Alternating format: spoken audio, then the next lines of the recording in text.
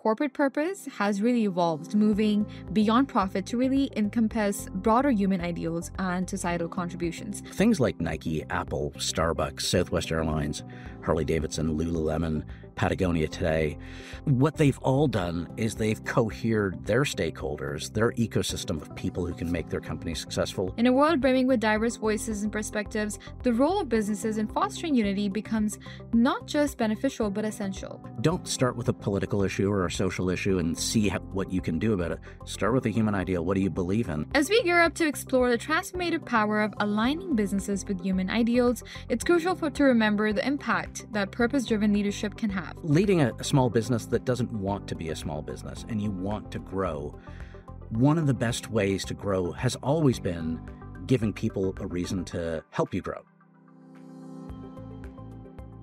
Hi, everyone, and welcome to the Canadian SME Small Business Podcast, where we delve deep into the essential aspects that fuel our community's backbone, the small businesses. I'm your host, Maheen, and we're here to navigate today's conversation on the intersection of leadership, social movements, and commerce, a trifecta that's really reshaping the commercial landscape. Today, we're uncovering how ideals and beliefs shape business strategies and the impact of unified purpose in today's fragmented society.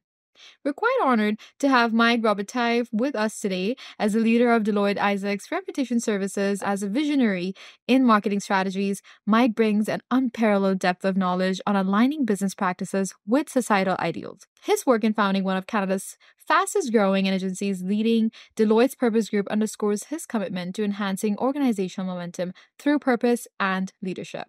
So let's dive into the insights with Mike uh, that has garnered through uh, his illustrious career. Good afternoon, Mike, and welcome to the Canadian SME Small Business Podcast. How are you today? I'm doing great, Maheen. Thanks so much for having me, and thanks so much for the interest in the topic. It's great pleasure to have you with us here, Mike, and we're quite excited uh, to get your expertise on on how businesses can really navigate through the complexities of uh, today's social dynamics, right? And we're quite eager to hear your perspectives on such pressing issues. Now, to kick things started, uh, or to kick things off, let's kind of focus on society's fragmentation and its implementation for business.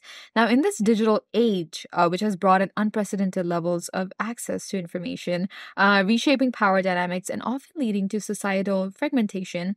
Uh, Mike, could you elaborate on what you've observed uh, regarding society becoming more fractured and what your findings suggest for businesses? Sure, sure. Um, so I, I think it's not so much a personal observation. I think we all sort of sense two things that have really happened that have dramatically shifted. You could say upended, call it the power dynamic in society. So one is just unfettered access to information prior to the ability to sort of go online and and find out whether a story that was being told by a company or a government or any entity, whether that was true or not, was very difficult because companies and governments had large control over how much information was going to be distributed, and there wasn't really recourse for people to look further. That's thoroughly changed now, whether it's a company and an advertisement or a country making a statement, people can go online and say, I wonder if there's more or less to that story. Mm-hmm. That's point number one. And point number two is social technologies have shifted immense power to groups and individuals that, for the most part, corporations and governments were able to um, not heed as much, right? So if a small group of employees was disgruntled or a community was disgruntled, you could sort of keep operating, you could keep running, and with relatively little interference. Today, a small group of employees goes online and complains, or a group of customers, or a group of vendors, or a community of operation, or whatever that stakeholder group might happen to be, mm-hmm. and they push and pull your company in all sorts of different directions because those groups aren't homogenous either. Right. Like employee groups, there are subgroups and they want this and so it's become very very difficult for companies, leaders of companies or countries to cohere people in a direction. It used to be sort of a function of near consolidated control and you were able to command people in a direction and now you actually have to earn their support to move in a direction. And many leaders public sector, private sectors are struggling with that very issue. Mm-hmm. Now, to build onto this a bit more, uh, Mike, how can businesses really navigate this fragmentation to maintain uh, and build stakeholder support? Yeah. So, one of the wonderful things is even though, call it the need is new and the, the problem relatively acute. Like, how do I organize my fragmented groups of stakeholders? Again, whether you're a public sector organization, a big company, or a small company, how do I get employees, customers, allies, vendors, all of these groups behind what my company stands for? So that need might be new, but there is a very um, well trodden pattern that you you actually can see in evidence in those companies that for the most part, all of us love, right? So mm-hmm. things like Nike, Apple, Starbucks, Southwest Airlines, Harley Davidson, Lululemon, Patagonia today, um, like what they've all done is they've cohered their stakeholders, their ecosystem of people who can make their company successful behind a human ideal. So, and it's really interesting. Like when you look at something like Nike, you know, like advertising branding, people love to talk about how great their ads are and how great a brand they are. But it's really important to actually recognize them as something more than a brand. Mm-hmm. Like when we use the term brand for Coffee Crisp and Men and Speed Stick and Bud Light, those are great consumer brands, but they're really not the same as what's going on here. And when you look at what those companies have done, they're much more accurately described as founder led cultural phenomena. Like we weren't, as human beings, we weren't exercising in personal fitness routines until a company came along and said, Oh, if you're a human, then you've got a body, you're an athlete, get that body off the couch and just do it. And we did. Like they created a culture of fitness. We didn't have a place for me time. We all had home, a first place, work, a second place. Right. And then mm-hmm. Starbucks, a third place for me time. So these companies all change culture based on a human ideal. And that's the pattern. It's probably always like who doesn't want to be the president or an investor or an employee or a customer of those companies, right? Like, is Patagonia just selling a polar fleece or are they selling a love of wild places and a desire to feel connected to nature? When you actually illuminate that higher meaning, you actually give people a common purpose to share. That uh, in being a part of these companies, we actually feel like we're bringing about the change we want to see in the world. Mm-hmm.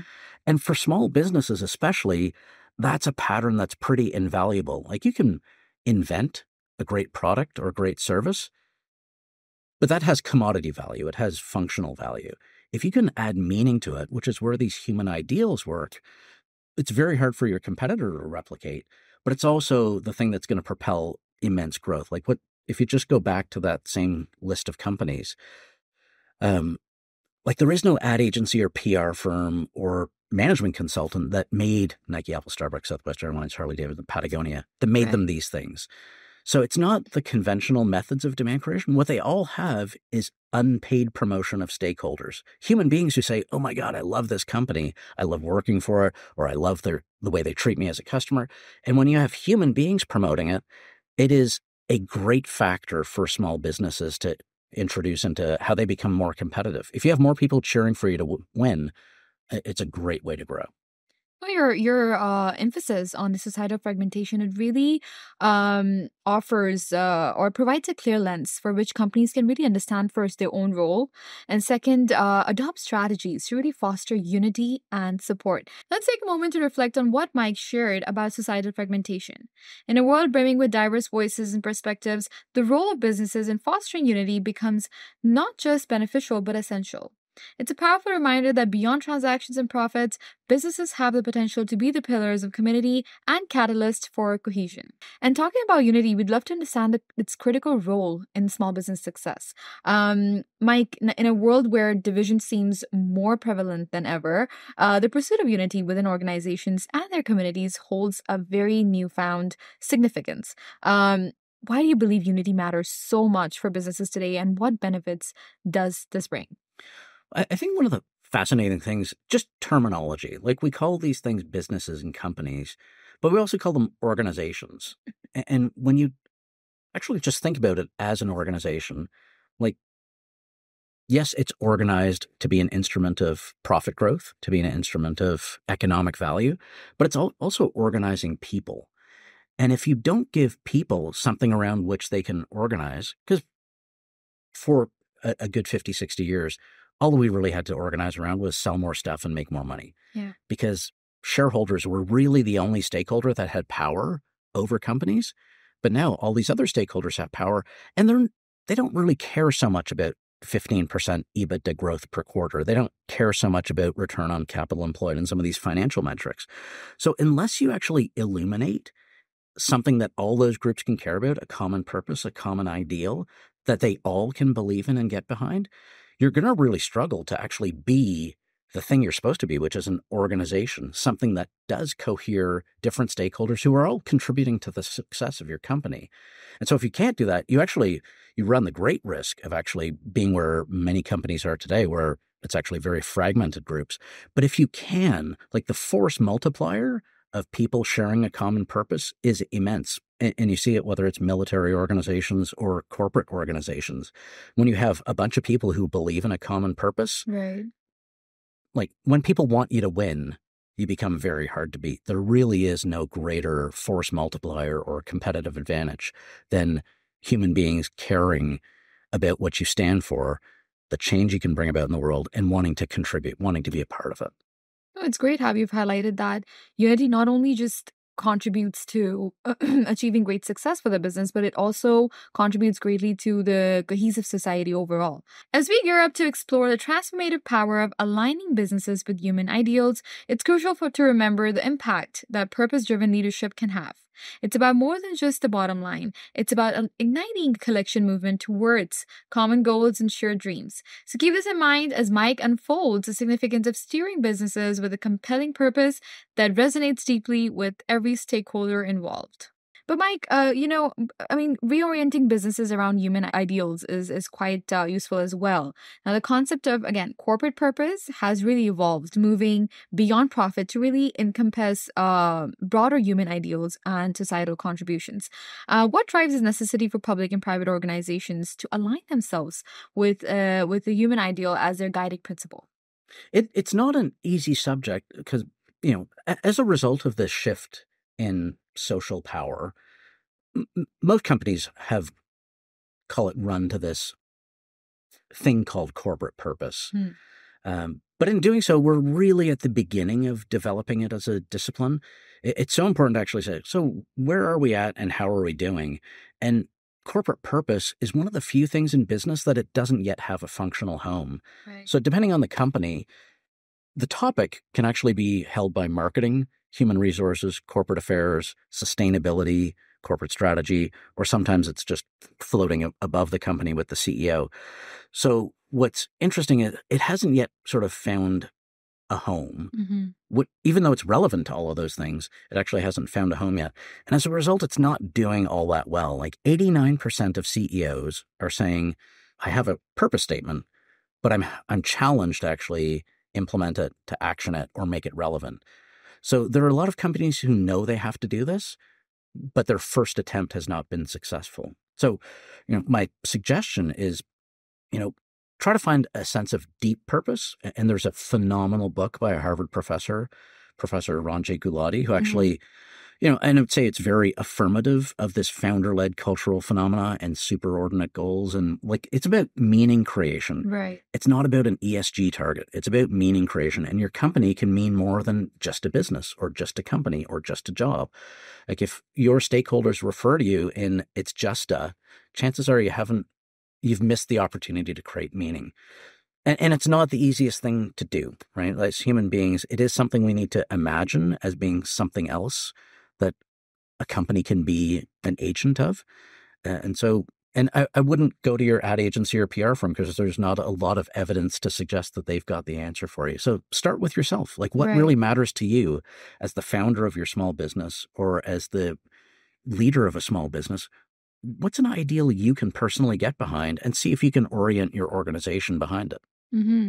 Now, to help small business owners with aligning their businesses with the human ideals, uh, Mike, how do you approach helping businesses identify and integrate these ideals into their core operations? Yeah.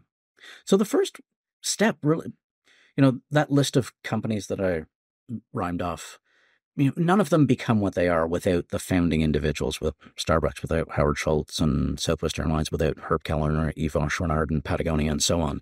And so it's very tempting to actually miss the first step and just say, well, they were lucky to have one of those charismatic founder people. Like those people aren't made, they're born. So it's very easy to just say, well, it's a matter of good fortune to have a charismatic founder and an idealistic founder.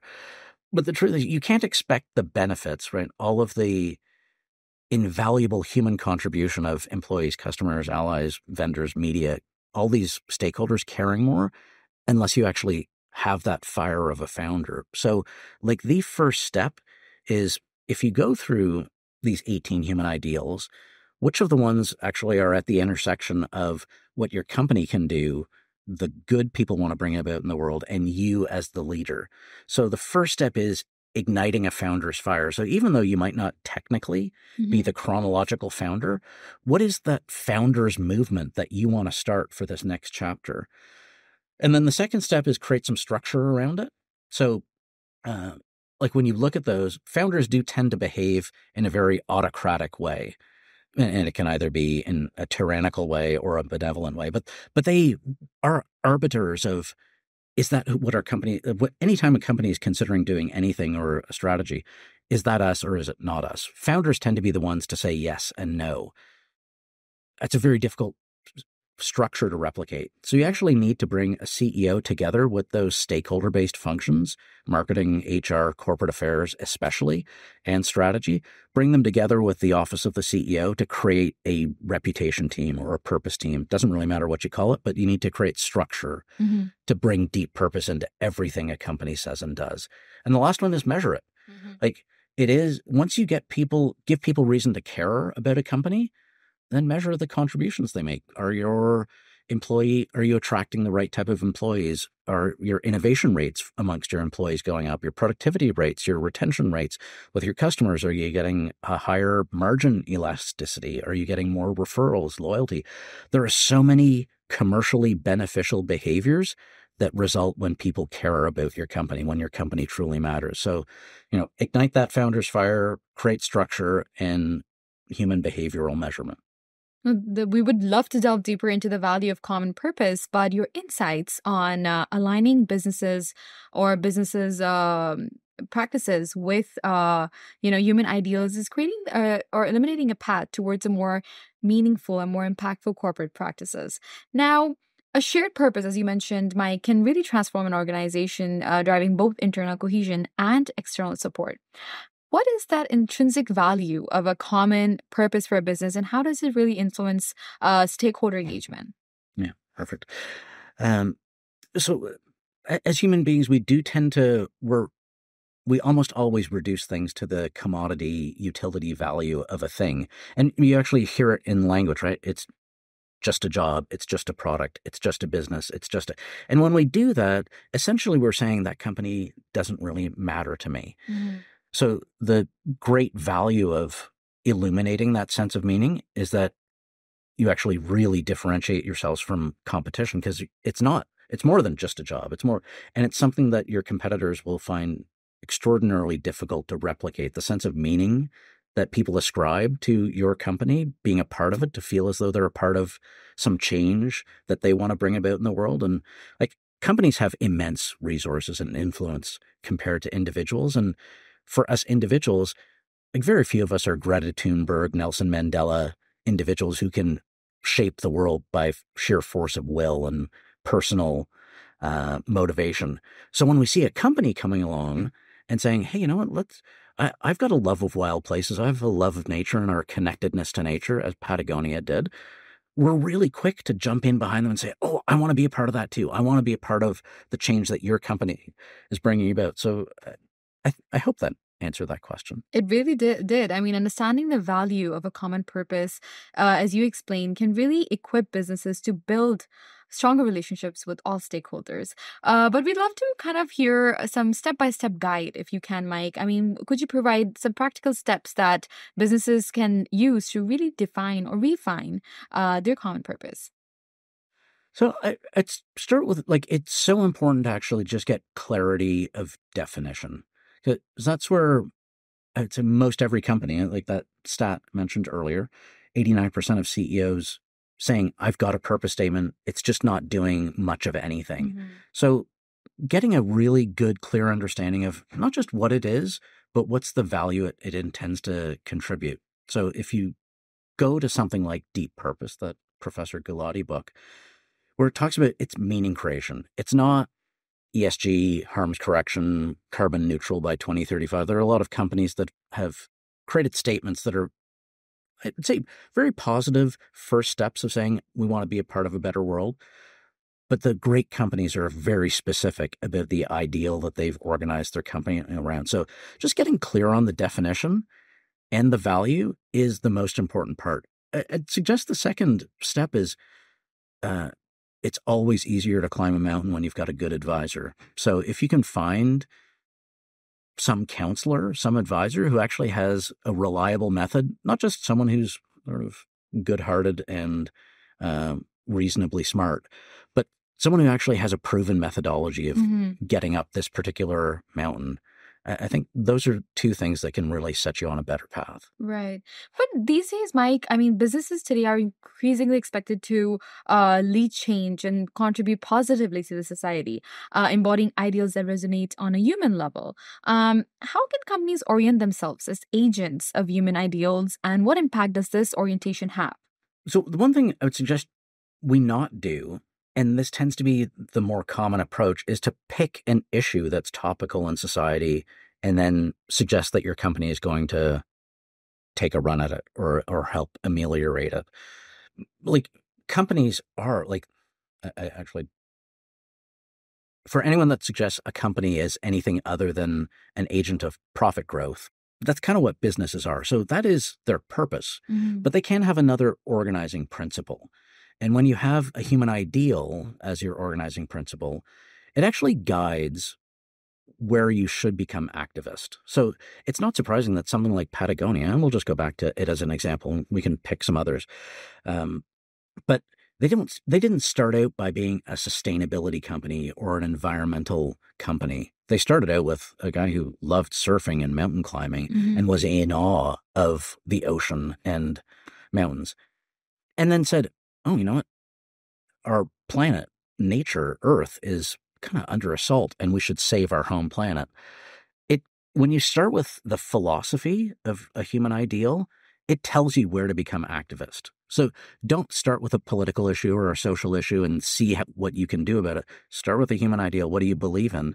So similarly, like Starbucks is a self-respect, self-esteem, feel good about the individual company, nurture and inspire the human spirit.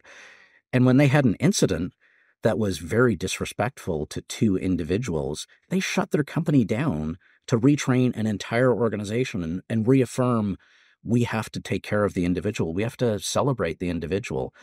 So they didn't pick, call it that issue of the moment, but they became activist around of it because of the human ideal, because of their belief system, if you will. Right. Now, Mike, um, I mean, what challenges might businesses face with this reorientation and how can they overcome them?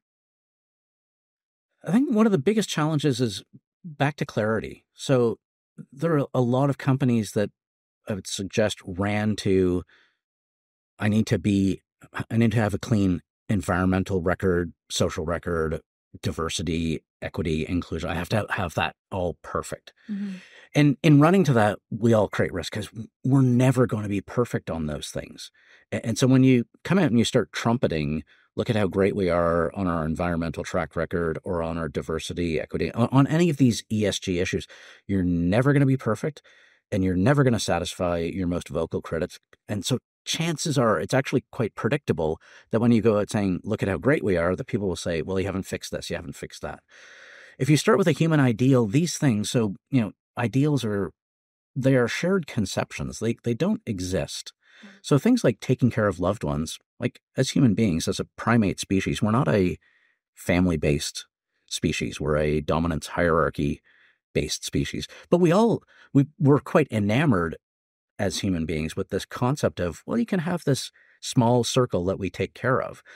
And and so when you start with that, there is so let's just play that out for a sec there's no accomplishment of taking care of your loved ones. There's no day. Like I'd like to think I'm a good dad and a good father and a good grandfather now. But there isn't a day where I feel like I did it. I'm the best dad I could ever be. I'm the best husband I could ever be. I'm the best grandfather I could ever be. There isn't a, it's not a goal to be achieved.